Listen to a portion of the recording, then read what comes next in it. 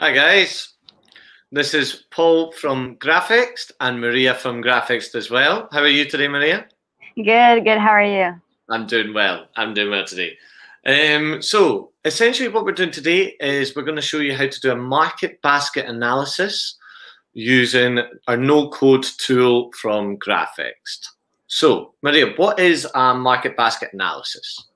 So market basket analysis is normally seen on, for example, supermarkets and online retail stores, um, such as Amazon. That will be the section where it says frequently bought together items. Let's say that I wanted to buy a sports t-shirt and Amazon is going to recommend me to buy sports shorts.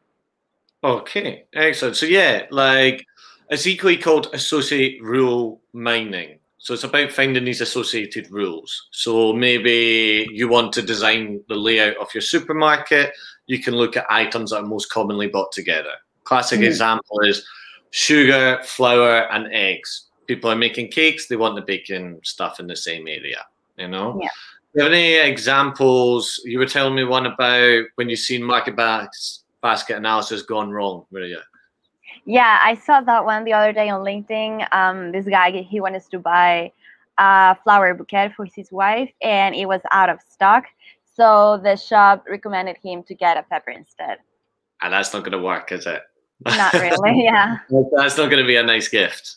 No, like no. unless you really like peppers, of course. Uh, okay, yeah. So, how did we do this market basket analysis? Like, maybe you're able to talk us through the first steps. Where did we get the data set from to begin with? Yeah, so we got this data set from Kaggle. Um, it's from a bakery up there in Edinburgh. Um, Edinburgh. and- yeah, Edinburgh. I've not been there. Um, and it's very easy, as you already know. Here in Graphext, we suggest use some different type of analysis depending on the nature of your data set.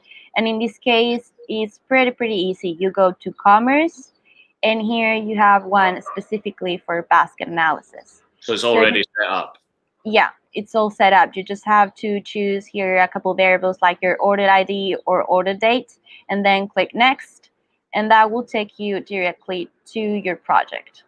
Okay, looks good. How long would that take? How long? I like. How long did it take you?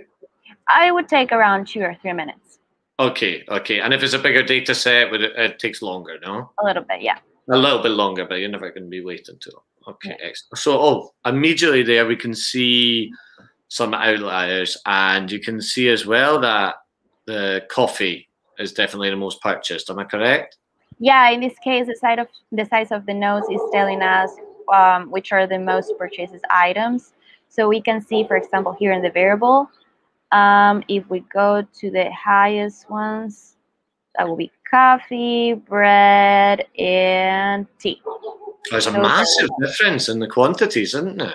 Yeah, it's just it's Between amazing. tea and coffee. That surprises me. Sure, yeah. Certainly in Edinburgh, like maybe maybe in Madrid it'd be different. Like I'd expect coffee, but Could be, could be. it'll be the same. The same.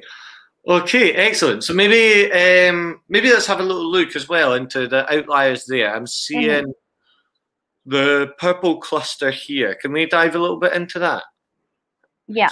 Cluster five.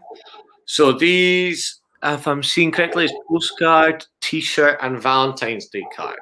Mhm. So I'm guessing these outliers because of the fact they're not food or drink, and we're in a bakery.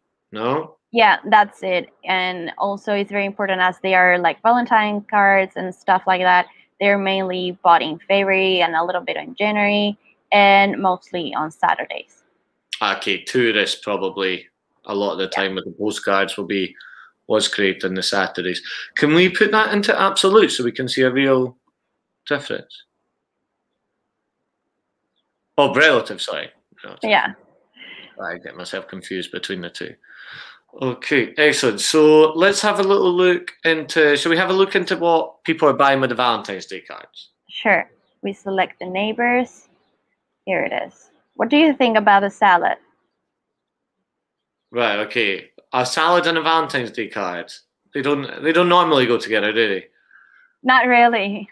Uh, definitely though the cake and a Valentine's Day card. Which would you prefer? If your boyfriend bought you a Valentine's Day card and a salad, or if your boyfriend bought you a Valentine's Day card and a cake. Um, I would truly appreciate the cake instead of the salad.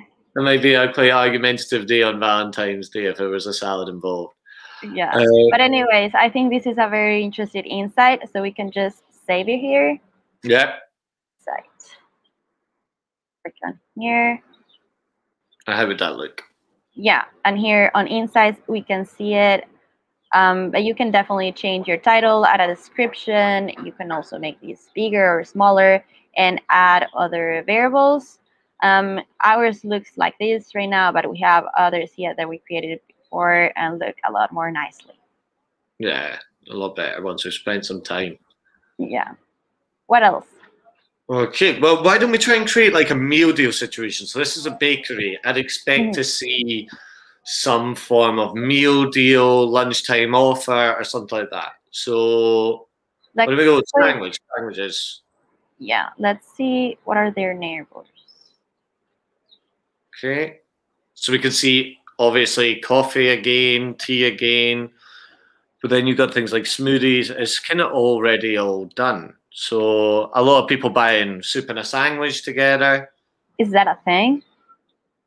Well, it could be two people buying it, but equally we do eat like a soup and a sandwich to dip the sandwich in the soup. Really? That's it's, nice. I don't know. I don't know if that's an Edinburgh thing or if that's a UK thing or what. But yeah, we do like it. A coffee. Yeah. okay, so immediately there we could just put all those things together, maybe except from the bread. So this is that common sense thing. Even if people are buying a bouquet of flowers, quite often with a pepper, they don't necessarily go together. So you've still got to use some common sense. But if you Mhm. take away the bread, then I'd say everything could be a meal deal immediately Yeah. there. You know, buy three for four pound. Yeah, I totally agree. Whereas this is Edinburgh, buy three for ten pound. You know? Yeah. Yeah. okay, that's I'd say that's uh, that's enough. So like this is for a small bakery in Edinburgh, but if we have, you know, every single Tesco store in the UK, then this would take a little bit longer, no? Mhm. You Yeah. dive into analysis. All this could mainly have been done with a bit of common sense for them. But if you're on a massive scale, it would definitely make sense. Especially if you're e-commerce. Yeah. It can definitely make a difference. Yes, Yeah. I agree. Okay, well, I'd say I'd say that's that's us covered, really. Um, it looks lovely where you are, by the way. Thank you. Thank you very much. It's very Oh, sunny yeah.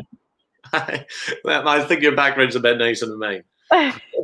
Well, thanks for having me here, and Thank you uh, very much. speak soon. Bye bye. Thank you soon. Bye.